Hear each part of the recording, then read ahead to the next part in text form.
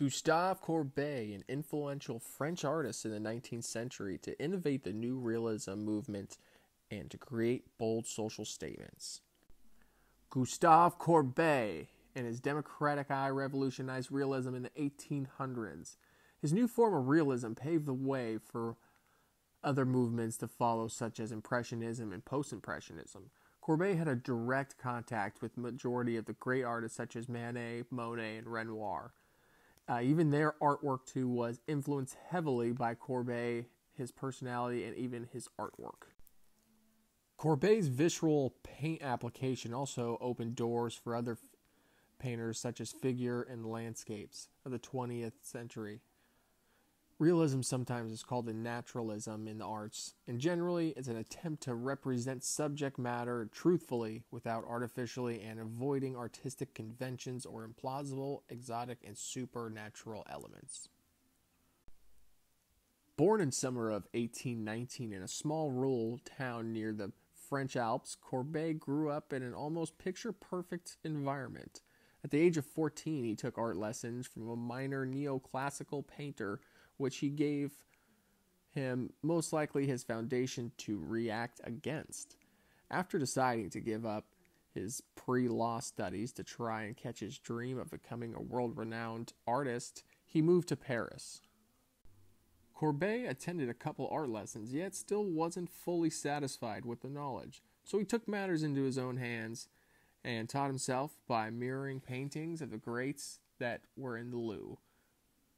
While art students wait years before picking up a brush, Courbet made his own rigorous schedule to perfect his craft. His ability to recreate some of the top paintings in his time set him up for becoming one of their competitors. When Courbet threw himself into his personal vision of realism, which rejected any classical treatment or rhetoric, he wasn't getting much appreciation from critics as he would like. He was so deep in his realist mode, he turned down an offer from the church to paint instead of angels. He countered and remarked to them, Show me an angel, and I will paint one.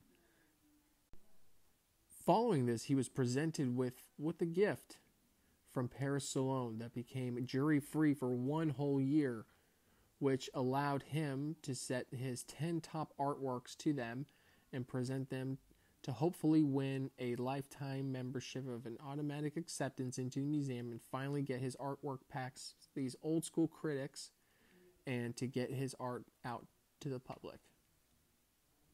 Without this jury free year, most likely Burial at Ornans 1849 would have been most likely rejected for his lack of classical rules. Burial at Ornans, now seen as one of the greatest genre paintings, depicts a funeral of Courbet's great uncle, which took place in the family's birthplace in Orange, which is a small town near France.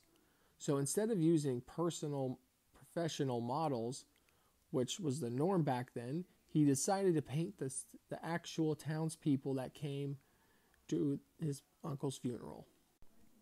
Thus emphasized the truthful character of realism Courbet believed. This painting was painted on a massive canvas stretching 10 feet by 20 feet, a format traditionally reserved for the prestigious religious paints such as The Last Supper by Leonardo da Vinci or Wedding Feast at the Cana by Pablo Versanis.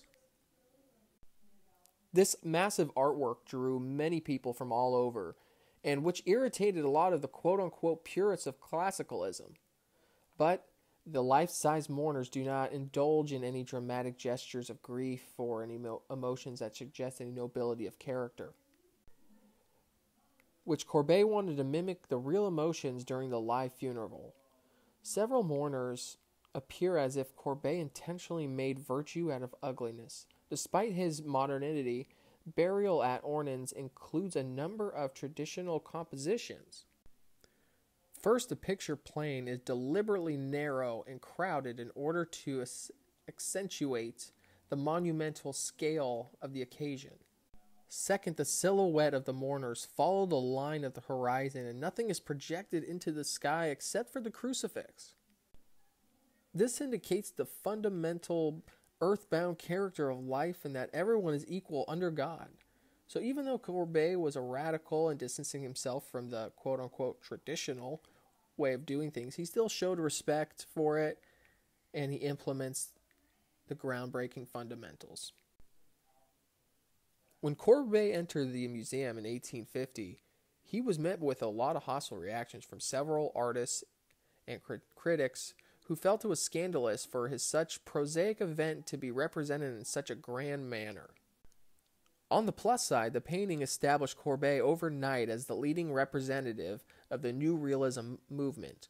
Courbet movement was so renowned and moving that artists all of, of all medias around the world try to replicate his artwork, such as the great Desperate Man. The Desperate Man by Courbet was one of the most influential pieces he's ever done.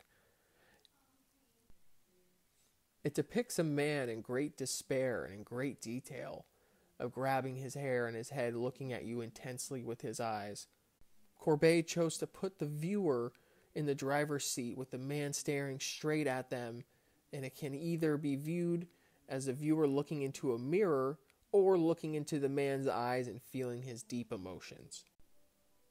Simply turning the canvas into the landscape mode already sets a tone of some sort of expression. Courbet's vision of realism heavily influenced other artists to come and can be even seen today Courbet led the realism movement in the 19th century in French paintings, committed to his paintings only what he could see, and rejected all the academic teaching he, he encountered, and to change how art is expressed today.